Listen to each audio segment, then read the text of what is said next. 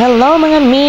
Dahil birthday ni Mr. ngayon, nag-request siya na ipagluto ko siya ng adobo para sa pangpulutan nila. At ito na nga, bumili siya ng paa ng manok at may nagbigay din ng isang buong manok. Maraming salamat po sa sponsor ng manok. Siyempre, lalagyan natin yan ng kompletos ricados para sumarap ang ating adobong lahok-lahok. Adobong lahok-lahok po ang tawag ko dito dahil lahok-lahok naman po talaga yung aking ginawa. So, thank you for watching guys.